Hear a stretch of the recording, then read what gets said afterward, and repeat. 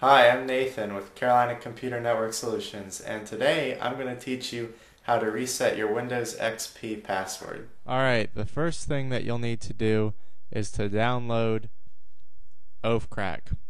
Oafcrack is a tool that you can use to download either to your Windows computer or if you can't get on your computer because you forgot your password, you can download it from a friend's computer and burn it onto a CD that you can use to boot from and then recover your password. So I'll show you how this works.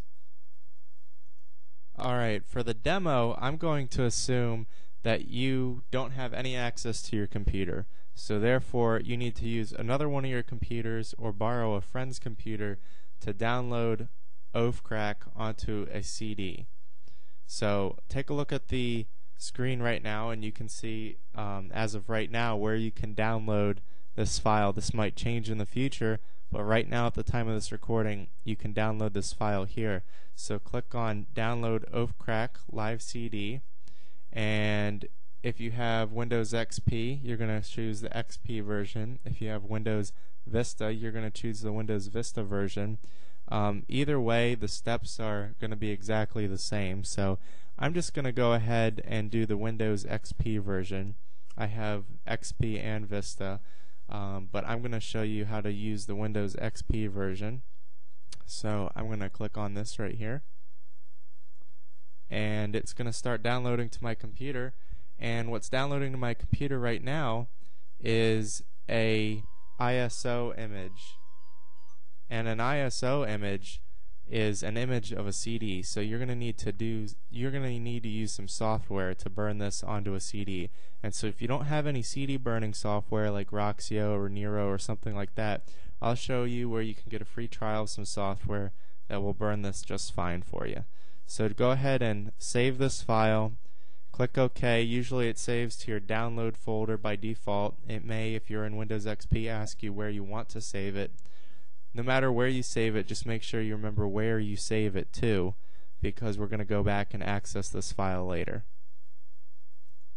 Alright, the next place that I want you to go is to download.com and when you're in download.com go to CD burning, just type that in the search bar at the top, hit search and it'll pull up some CD burning software. And you can download a free trial of A Shampoo Burning Studio 8.03. It's capable of burning ISO images onto a CD. So download this software if you don't already have um, uh, software for CD burning, and then I'll show you how to use this to burn an ISO image in just a second. Alright, so now that you've installed your burning software, start your burning software and then go to Create burn disk image, then click on burn a CD from a disk image, and then it's going to ask you where the path is that you saved that file. So remember how I told you that was really important? Well, now you need to know where you saved that file. And you probably saved it um, as an ISO file, so there's no need to do anything with it except browse and find it. In my case, I saved it to my downloads folder. That's my default folder for downloading you probably saved it to your desktop or either that or to a downloads folder or something like that. So I'm going to click on this image, I'm going to open it, I'm going to click next and it's going to ask me to insert a blank CD. Now I recommend using CD plus R. Go ahead and insert uh, a CDR into your into your drive and uh, close that.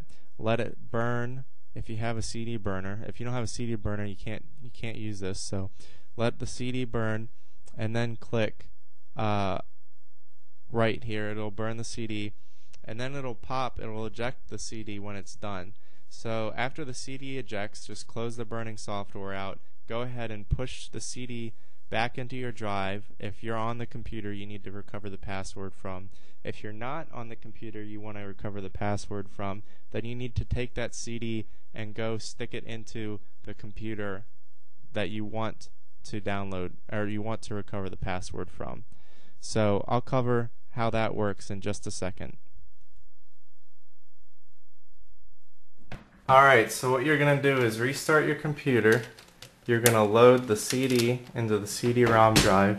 Then you're going to have to hit the boot menu key On my computer, it's F12. I have a Toshiba.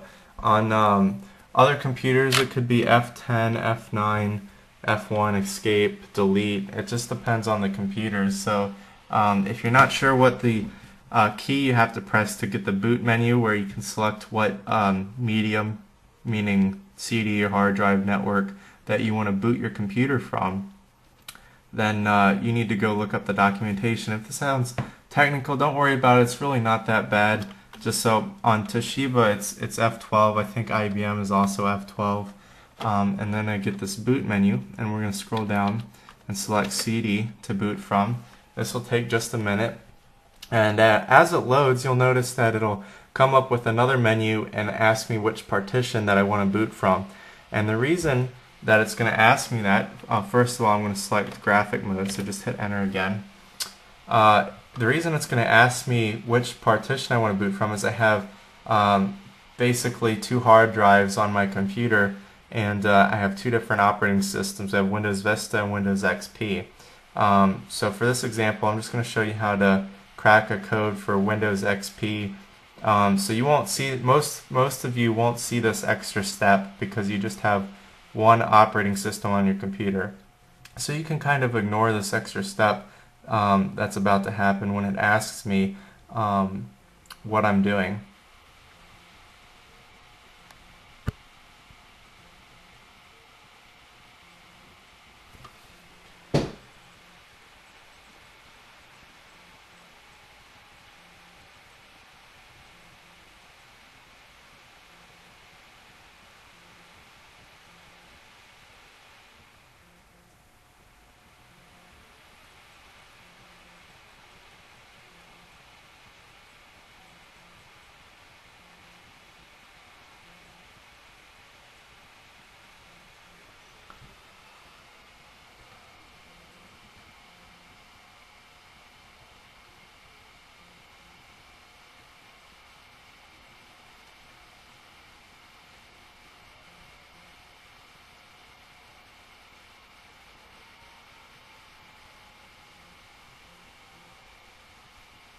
Alright, now as you can see in the top left corner here, it's asking me which partition to use.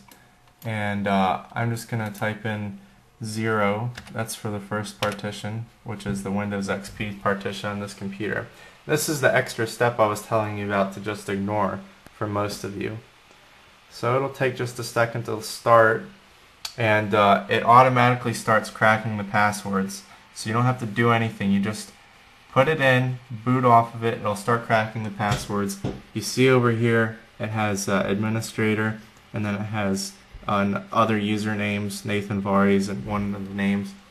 And over here in this section you're going to see uh, part of the password and then the next part of the password and then when it's done cracking the whole password will show up over here. So if you've forgotten your password, this is the password that you're going to type in for this username. So uh, my username is Nathan Vari, and when it's done, it'll have a password over here, and I'll be able to reboot my computer, take the CD out, and use that password. Now this could take some time to do, um, but it, it's very effective. It works. So once this is done, I'm just going to stop this for time's sake. And uh, once this is done, we just reboot the computer and uh, use the password that you found. And when it's done, all you have to do to reboot your computer is hit the exit key and then you press enter to exit and then you press Y and then hit enter again and it'll shut down your computer. And then when your computer reboots, all you need to do is turn your computer on. It's going to shut down, so you need to turn your computer on and then you take the CD out and then your computer will boot up into XP and uh, you can enter the password then. Now if you have trouble with this, if this is too complicated for you, don't worry about it, it's no big deal. Just give me a call at 704-248-6227 and we'll schedule a technician to get out there and help you fix your computer, help you recover your password. Hope you guys have a great day. Bye.